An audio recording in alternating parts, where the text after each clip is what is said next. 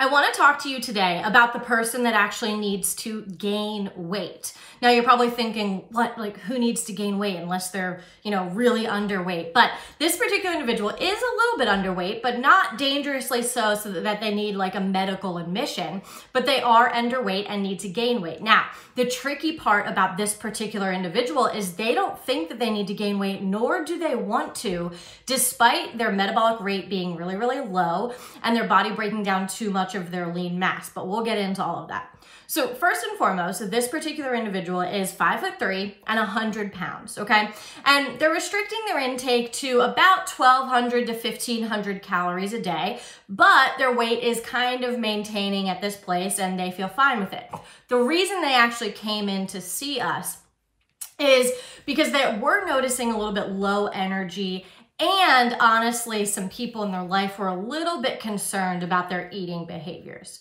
So first, let's take a look at their metabolic test results. So as you can see, the metabolism is way too low. It's down at 900, which is well below where it should be. And what we're also seeing is that the body is breaking down 11% more of their lean mass than it should be. And remember, that means that the body's chipping into muscle and collagen and connective tissues and all those things that we don't want it to break down.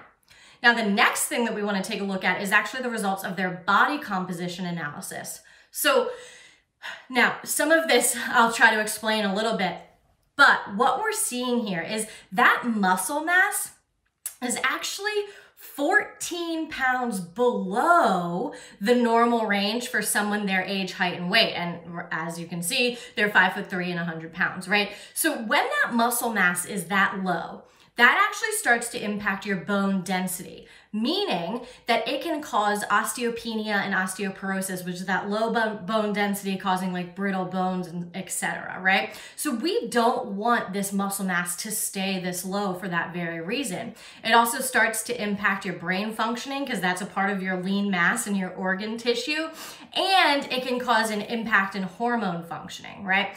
But of course, this person, other than the little bit of low energy, really isn't experiencing some of these negative side effects from undereating. They feel fine. That's the issue, right? So this person needs to gain this muscle mass. Now, let me just clarify.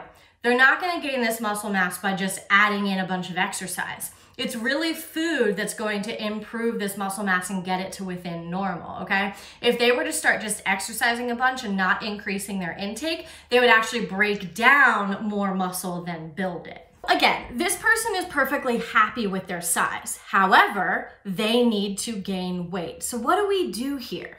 A lot of it comes down to education, like I'm educating you, right? That lean mass is way too low. It's below the normal range by 14 pounds. We have to improve that so that you don't end up with low bone density or any other medical complications of having low lean mass. Remember, lean mass is correlated to immunity and longevity and all of these things. But how do we get this person to buy into that? And a little bit of that, and what I also or always challenge my clients to do is trust me.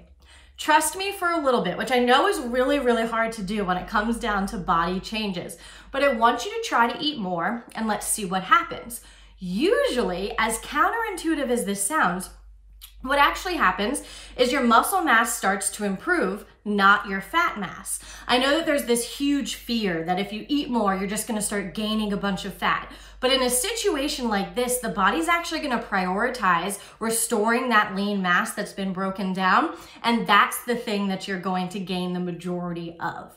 So a little bit of his trust in getting them to do that, right? The second part to that is also paying attention to, so this person says they don't notice any physical symptoms of what's going on here, but chances are they probably do. They've just gotten so used to it. So I always challenge my clients to pay attention to their energy, which remember this person did admit was a little bit low, but hopefully that improves. Pay attention to their sleep. Now, in some cases, people just think like, oh, I'm someone who's not a good sleeper, but that could actually be because of a low lean mass and not eating enough. Pay attention to cravings. I've talked about that lots of times before. You shouldn't have a lot of cravings. And then just like on past videos that I've talked about, that obsession. See if you're obsessing over food. Ask yourself how much time a day you think about food.